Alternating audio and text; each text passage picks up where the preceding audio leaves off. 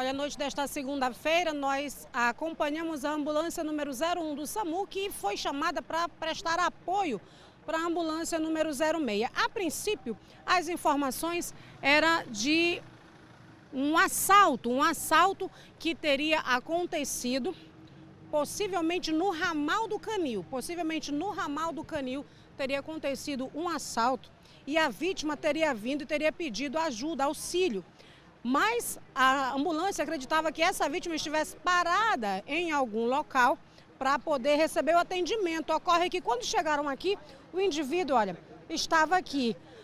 Algumas testemunhas dizem que ele veio seguindo, ele tentou seguir os seus assaltantes. Olha, uma história realmente ainda, desculpa, uma história realmente que a gente ainda vai tentar destrinchar aqui para você, porque a princípio ele teria sido assaltado no ramal do Canil, pediu ajuda, mas a polícia disse que ele veio atrás dos bandidos e acabou sendo alvejado e caiu já com a cabeça exatamente aí no meio-fio. A polícia militar já está no local, os médicos do SAMU chegaram aqui, mas infelizmente já só puderam atestar o óbito, até mesmo porque a ambulância número 06 já tinha visto como que estava a situação do paciente. Conversar aqui com o Lourenço, da 01.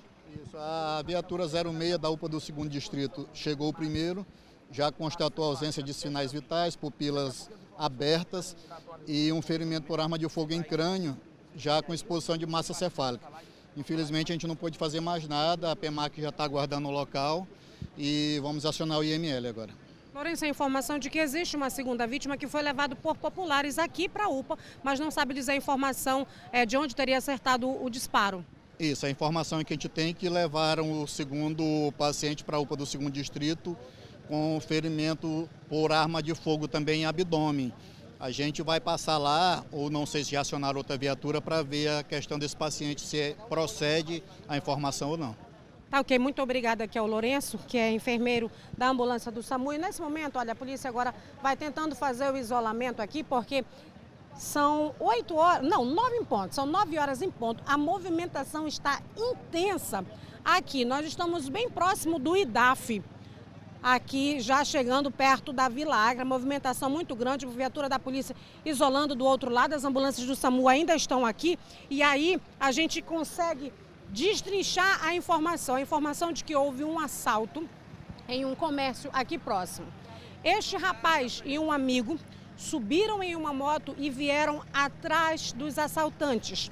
Em um dado momento, os assaltantes viraram e efetuaram disparos contra eles. Ele acabou levando um tiro na cabeça, como você viu aí a informação do socorrista do SAMU, e aí uma segunda pessoa, uma segunda vítima, foi levada por populares para a UPA, que fica aqui próximo à UPA do segundo distrito. Olha aí, o nome da vítima é Adilson Júlio Moreira de Araújo. Adilson Júlio Moreira de Araújo é o nome deste rapaz que infelizmente acabou perdendo a vida após perseguir bandidos depois de um assalto aqui em um comércio na C40. Infelizmente, a gente não tem como dar informações precisas a respeito da segunda vítima, mas esse rapaz, infelizmente, acabou perdendo a vida. A polícia já está isolando todo o local para a chegada e a perícia do IML para posterior recolhimento do corpo,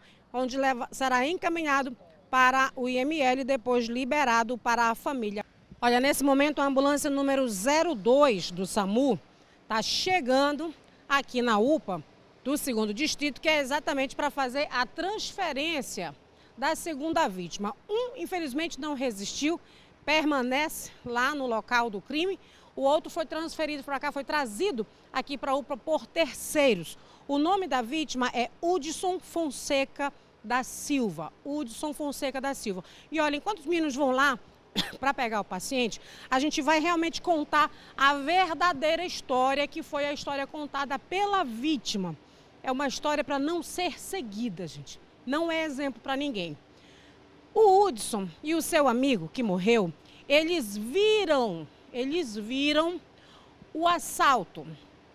O rapaz que foi assaltado e teve a moto levada, roubada, era amigo deles. Eles decidiram então seguir o assaltante.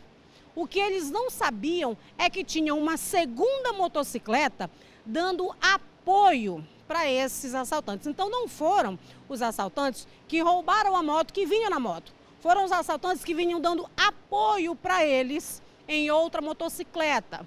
Eles, então ficou assim, a moto roubada na frente, as vítimas seguindo atrás e uma segunda moto de assaltantes que vinha fazendo apoio atrás deles. E foi, foram esses que vinham nessa segunda motocicleta dando apoio que efetuaram os disparos contra o Hudson e o seu amigo que infelizmente perdeu a vida.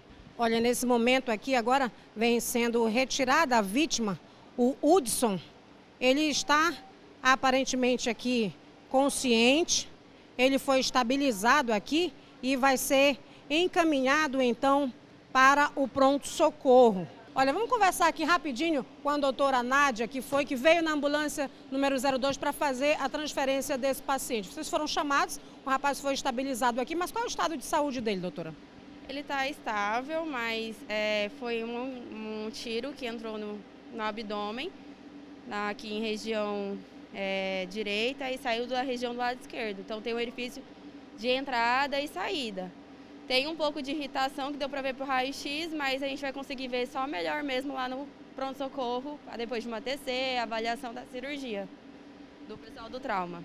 Tá ok, muito obrigada aqui a doutora Nádia, que veio na ambulância número 02 para fazer a transferência do Hudson. E aí a gente volta a frisar e fazer até um apelo que, primeiro, a polícia já diz, não reaja a assalto. Segundo, não siga assaltantes. Olha essa situação que os caras foram. Já fica em alerta, que geralmente é, acredita-se que é um só. Foi lá, cometeu o assalto, foi embora. Mas esses aqui, esses indivíduos, esses assaltantes, eles foram, um assaltou e o outro ia dando apoio em uma outra motocicleta. E foi esse que vinha dando apoio para o seu comparsa assaltante, que efetuou os dois disparos. Um morreu e o outro ficou ferido e está sendo, neste momento, encaminhado para o pronto-socorro.